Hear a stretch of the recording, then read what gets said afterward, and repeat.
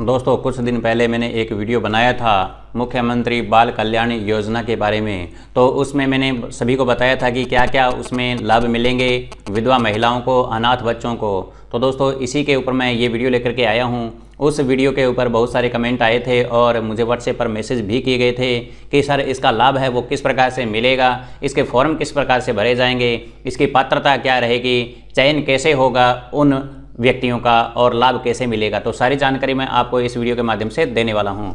दोस्तों, यदि आपने वो वीडियो नहीं देखा है तो आई बटन में उसका लिंक मिल जाएगा और साथ में इस वीडियो के अंत में भी आपको उसका जो एंड स्क्रीन है वो मिल जाएगा। यहाँ आप देख सकते हो, मैंने ये वीडियो बनाया था एक सप्ताह पहले, मुख्यमंत्री कोरोना बाल कल्याण योजना के बारे में।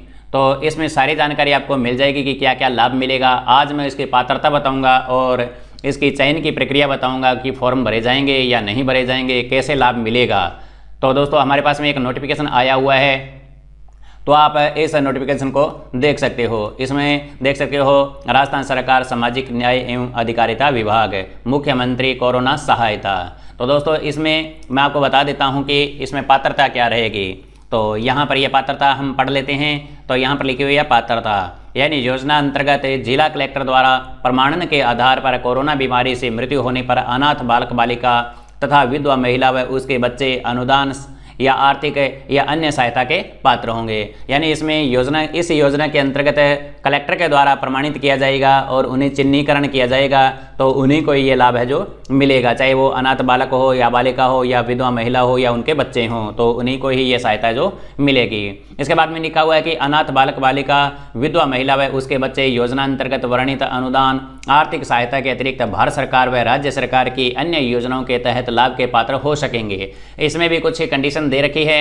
इसमें बताया कि अनाथ बालक बालिका व विधवा महिला के बच्चे पालनहार योजना के अंतर्गत पात्र नहीं होंगे। यानी उनको पालनहार योजना का जो लाभ है वो नहीं मिलेगा। और पालनहार योजना में, यानी इस पालनहार योजना में उनको केवल दो हज़ार रुपये की एक मुश्त राशि है, वो प्रतिवर्ष दी जाएगी। ये मैंने आपको उसमें भी बताया था, जो मैंने पहले वीडियो बनाया था।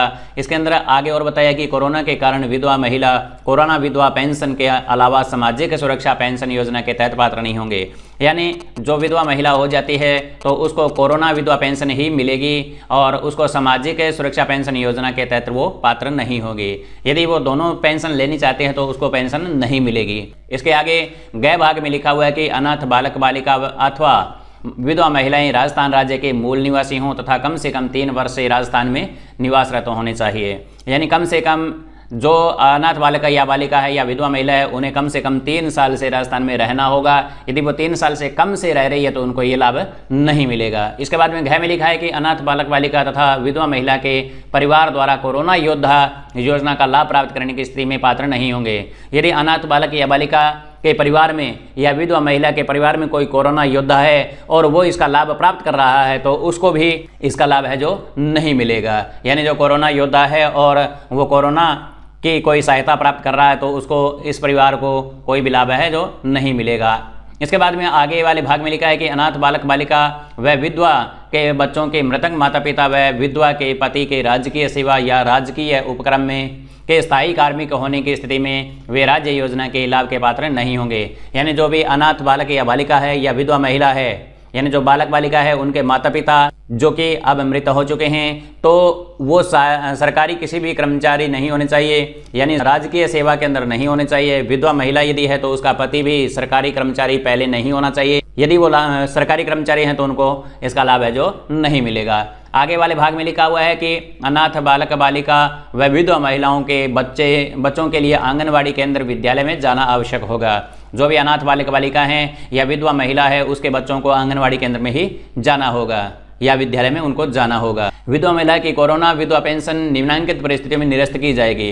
यानी जो विधवा महिला है, उसको कोरोना विधवा पेंशन यदि मिल रही है तो वो निम्न परिस्थितियों में है, जो कैंसिल की जा सकती है। यानी विधवा महिला की स्वयं की यदि कोई सरकारी नौकरी लग चुकी है या विधवा महिला ने पुनर्विवाह कर लिया है तो उसकी जो पेंशन है वो बंद हो जाएगी। तो दोस्तों, इसमें चयन प्रक्रिया के बारे में आपको बता देता हूँ। सात नंबर पॉइंट में यहाँ पर लिखा है, जिला कलेक्टर द्वारा ज़िले में कोरोना महामारी से अनाथ हुए बच्चों, विधवा महिलाओं एवं उनके बच्चों का चिन्हीकरण कराया जाएगा। यानी जिला कलेक्टर के द्वारा कोरोना महामारी के कारण जो अनाथ हुए बच्चे हैं या विधवा महिलाएँ हैं, उनका चिन्हीकरण किया जाएगा और उनको चयन किया जाएगा। उसी के आधार पर इनको है जो लाभ मिलेगा। ऐसे चिन्हित पात्र लाभार्थियों को जिला कलेक्टर द्वारा प्रमाण कर सात दिवस में भुगतान स्वीकृत आदेश जारी किए जाएँगे। यानी ऐसे जो प्रार्थी हैं या जो लाभार्थी हैं जिनको कलेक्टर द्वारा प्रमाणित कर दिया गया है तो सात दिन के अंदर ही उन्हें ये भुगतान है जो कर दिया जाएगा। यानी जो सहायता है वो दी जाएगी। इसके अलावा आगे लिखा है कि जिला कलेक्टर द्वारा जारी की गई स्वीकृति के आधार पर संबंधित सक्षम अधिकारी द्वारा अनुदान या आर्थिक सहायता का भुगतान डीबीटी के माध्यम से लाभार्थी के खाते में किया जाएगा। यानी जिला कलेक्टर ने यदि आदेश जारी कर दिया और उसके बाद में सक्षम अधिकारी है, वो भुगतान है, वो डीबीटी के माध्यम से उनके खाते में कर देगा। इसके बाद में अनाथ बालक बालिका के प्रकरण में राशि का भुगतान पालनहार एवं बच्चों के संयुक्त बैंक खाते में किया जाएगा। यानी जो बालक का पालनहार करता है, पालन कर पोषण करता है, उसके खाते में या बच्चों के खाते में ही संयुक्त रूप से किया जाएगा। यानी बच्चों का नाम उसके अंदर जुड़ा होना चाहिए। यदि कोई अपने खाते में लेना चाहता है तो ये पैसे नहीं आएँगे, बच्चों का साथ में उसमें नाम जुड़ा होना चाहिए। तभी वो लाभ के पात्र होंगे और उन्हें ये खाते में राशि दी जाएगी।